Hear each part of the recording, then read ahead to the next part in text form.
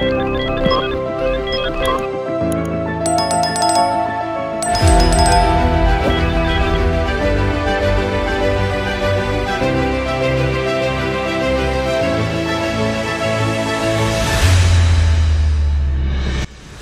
masih menyidik kasus suap, gratifikasi hingga tindak pidana pencucian uang yang dilakukan oleh Bupati Mambramo Tengah nonaktif Riki Hampagawang.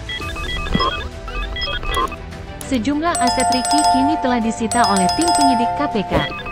Sejauh ini nilai aset yang disita tim penyidik sekitar 30 miliar rupiah lebih dalam bentuk aset bergerak dan tidak bergerak, kata Kabak Pemberitaan KPK Ali Fikri kepada wartawan, Sabtu, tanggal 13 Mei tahun 2023.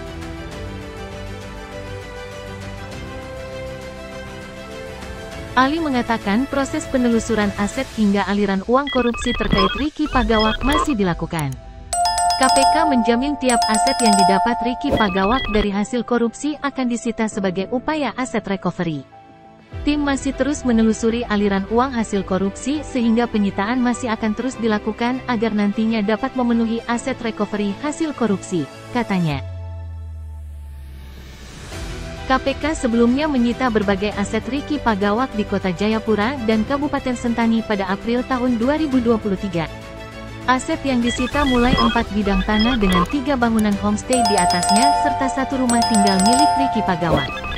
Perkiraan nilai aset dimaksud mencapai 10 miliar rupiah, kata Ali. Selasa tanggal 18 April.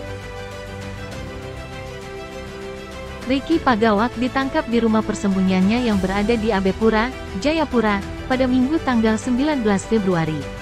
Riki sebelumnya sempat jadi buron sejak Juli tahun 2022 setelah kabur ke Papua Nugini. Jejak Ricky di wilayah Indonesia mulai terlacak oleh penyidik KPK sejak Januari tahun 2023. Ricky Pagawak diduga keluar masuk Indonesia Papua Nugini melalui jalur tikus. KPK kini telah menahan Ricky Ham Pagawak atas dugaan kasus suap.